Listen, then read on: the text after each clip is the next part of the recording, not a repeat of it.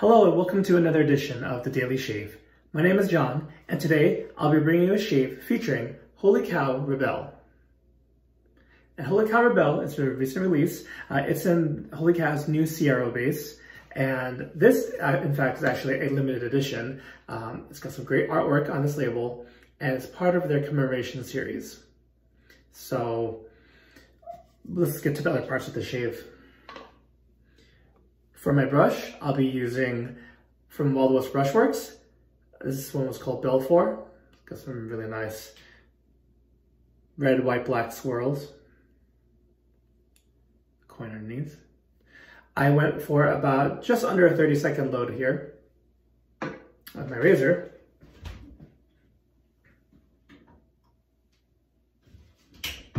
Almost forgot. This one is the Lithe head from West Coast Shavings, designed by Charcoal Goods. I have it on a uh, matte black Yaqi handle.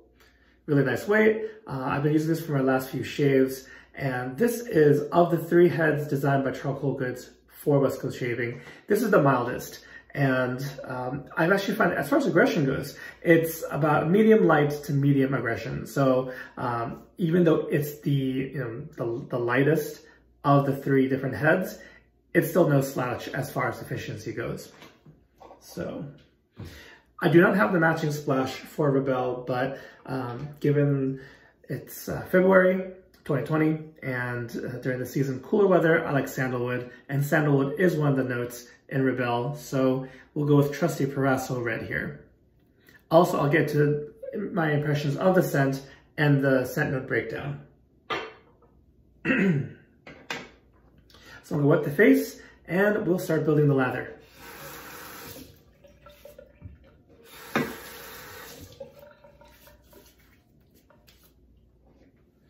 All right, here we go.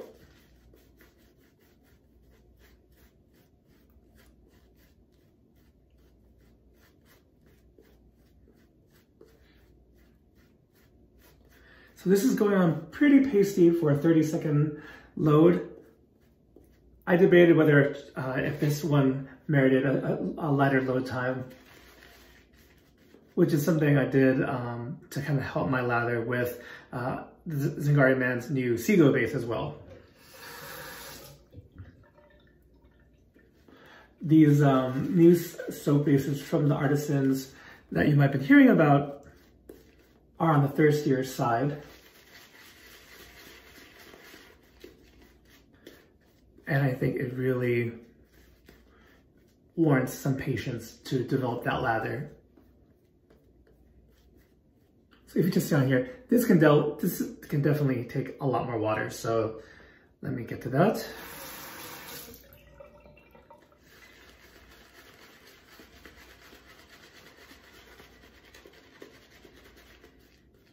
All right, so off the tub and in this initial lathering process, I would say that the scent strength on Rebelle is about medium light to medium. So maybe like a 4.5 or a 5 out of 10.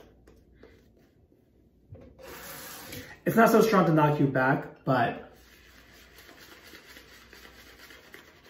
it's definitely there.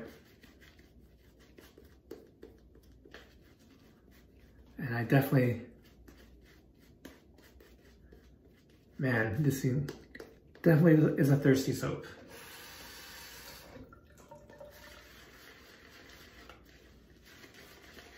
Now the scent note breakdown is the following. Uh, this includes oud, leather, tobacco, sandalwood, and vetiver. And those are all kind of notes that I do associate with cooler weather for the fall or the winter. Again, I'm not saying that you can't use those scents in other seasons, but um, they tend to be stronger and they can really project. So they stand out well in, in cooler weather, which tends to mask, uh, mask a lot of scent notes.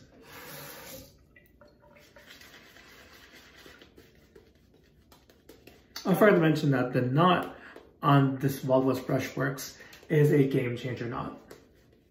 One of my favorite synthetics. You can tell them by their uh, kind of black and brown uh, appearance.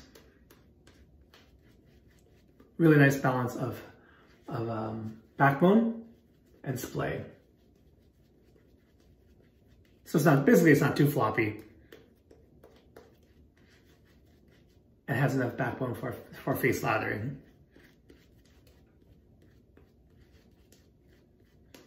I'm gonna give one more, more rinse for my brush here.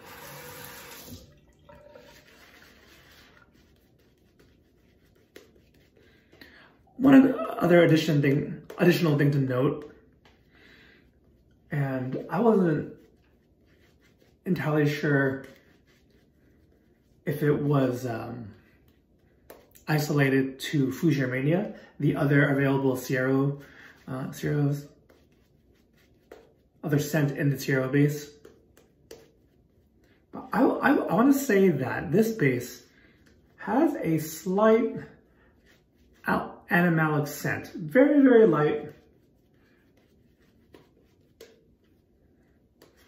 Some soap bases I've tried um, are very neutral. Sometimes it has a scent of its own. And what I detected, as far as an animalic note, what I detected in Fougere Mania is also here as well.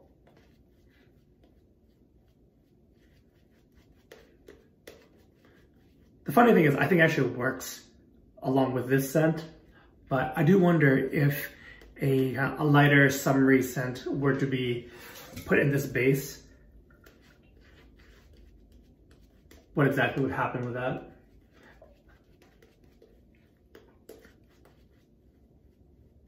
So this is something I did want to note. You can see this is, has developed a really nice gloss glossy uh, sheen to it.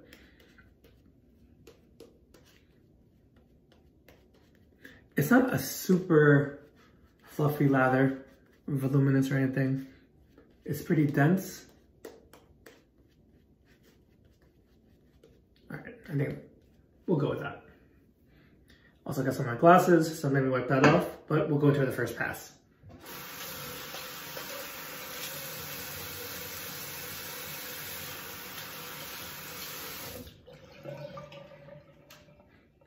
All right, so let's go in with the lithe head.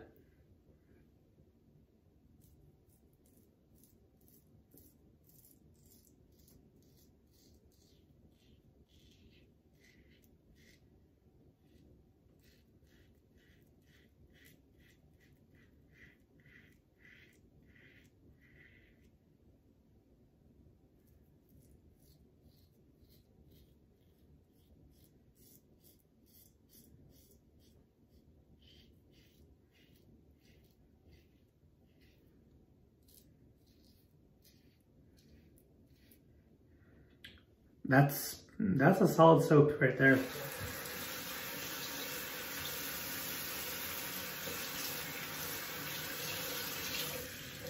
The slickness is just outstanding. I'm wondering if I could even go with more water. But even if it's slightly underhydrated, this is still shaving well.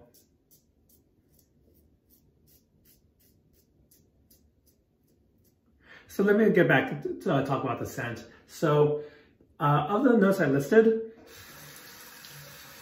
the way the scent is blended is very smooth. I'm not exactly picking out any particular note. I mean, you know, something like tobacco often presents itself, uh, makes itself known, but it's it's in really, you know, it's in harmony with the other scents. So it's acting together as one accord And as far as who I recommend it to, I would say if you enjoy a good tobacco scent, um, and, and this one's kind of unique as far as tobacco scents I've tried. Uh, um, it's a unique tobacco scent. I think that it's not a um, exact, you know, like a pipe tobacco, that cherry kind of note, but it's a tobacco that has some sweetness to it, some warmth, some spice even.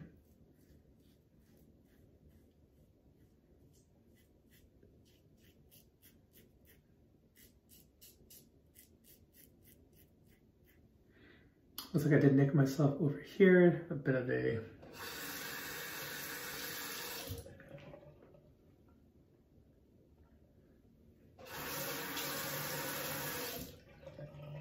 Should have been more careful there probably. As this is like a small pimple there.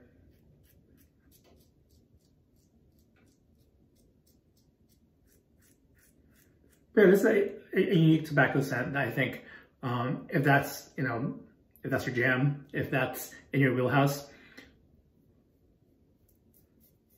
I think this scent might be for you. I will say after shaving with this uh, a few times, I'm curious, um, having not gotten the, the aftershave splash, um, how, how the scent presents itself there when it's kind of unencumbered sorry, unencumbered by the soap base itself.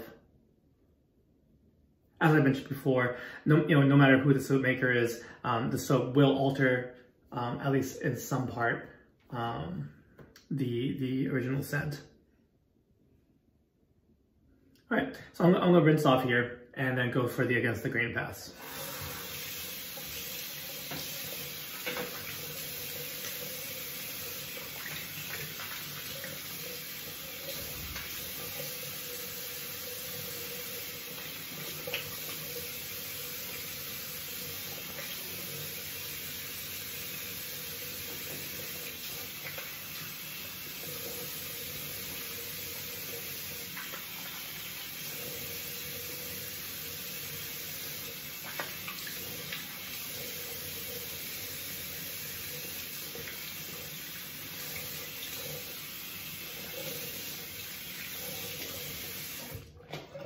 Another thing to note that kind of occurred to me as I was rinsing off is the residual slickness of the soap is really good. And from my previous shaves, the post shave is outstanding. So it kind of just feels buttery. Not greasy, not oily, but you know, in trying to rinse, um, I kind of kept, you know, kept trying to rinse it off. And in fact, it had already been all clean and it's just um, and a testament to the soap, you know, the, the, the qualities it has. All right. So we go for the Against the Grain Pass now. In case I didn't mention it, this is uh, two days of beard growth. And that lithe head I've really been enjoying my shaves with that as well. That was a uh, recent addition, recent addition to the den.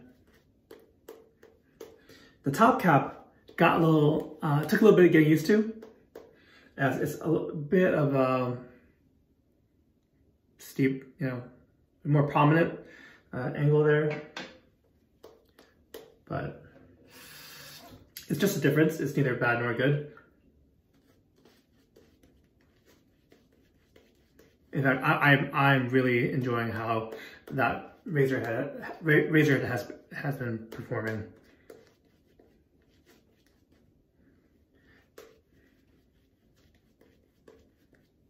I do think it's it's a steal at ten dollars or less if it's on sale.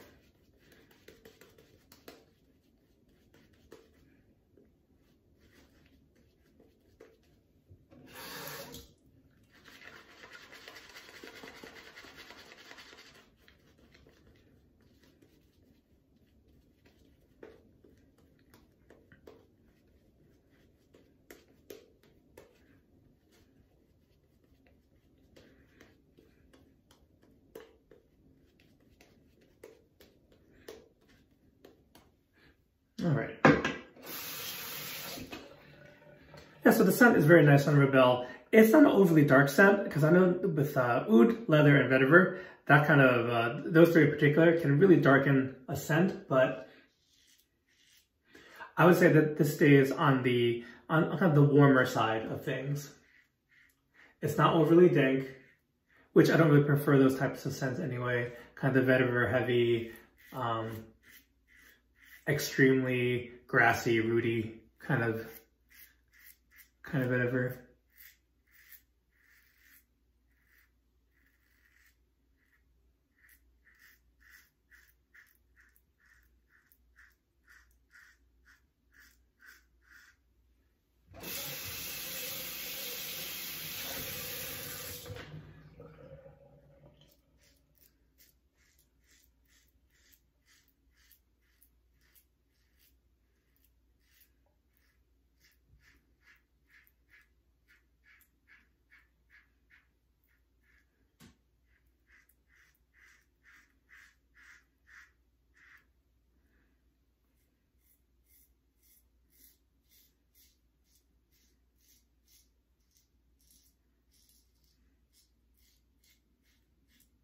Forgive my silence, just trying to pay attention and not slash myself here.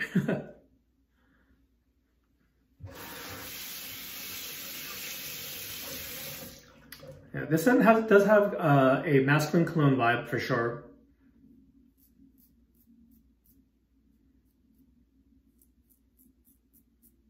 But I, I will say the scent, um, it didn't blow me away at first. It was a little familiar, but um,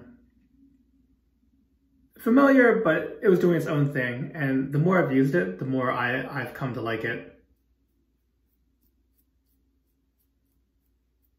I think this is one where if uh, it off, was offered in the eau de toilette or eau de, eau de parfum, that a lot of people would really enjoy that as well.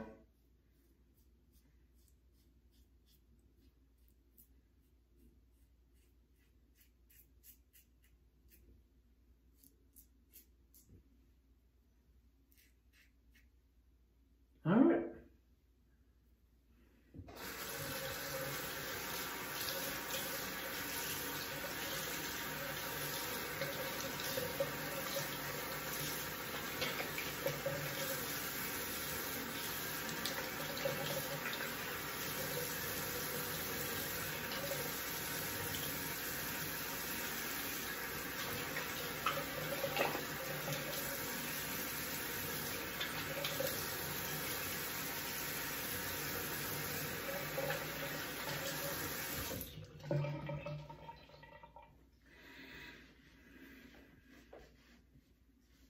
I was a little more quieter in that um, against the Green Pass. Uh, I think this, the lithe head, one thing just um, in my experience is that if I don't pay attention enough, it can kind of bite me, especially in that second pass, uh, in this sick of the area um, by chin, under my chin, my neck here, uh, which is more sensitive anyway. So I was trying to be careful not to nick myself by accident. But it does a really good job of, you know, I've tested it um, in mowing down like three or four days before and it had no problem. So I've, I've just been really impressed with, with this guy.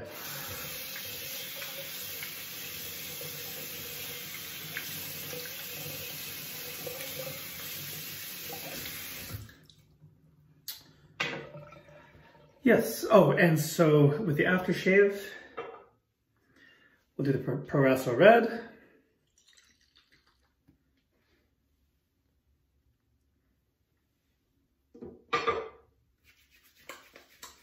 I feel like this just goes with a lot of different scents I like. Very complimentary.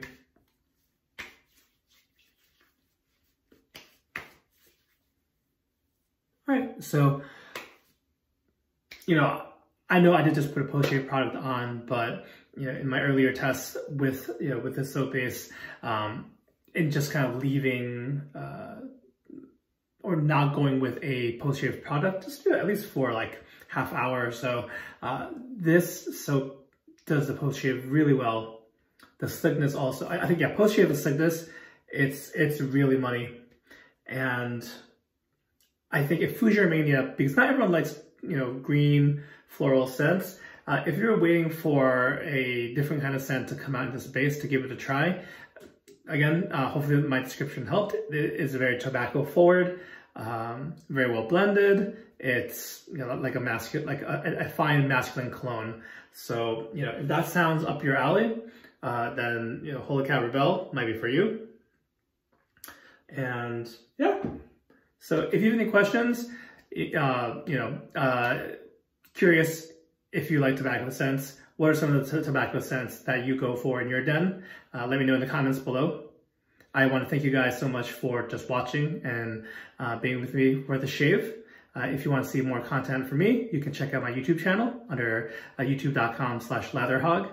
And yeah, I'll catch you next time. Uh, thank you everyone and take care.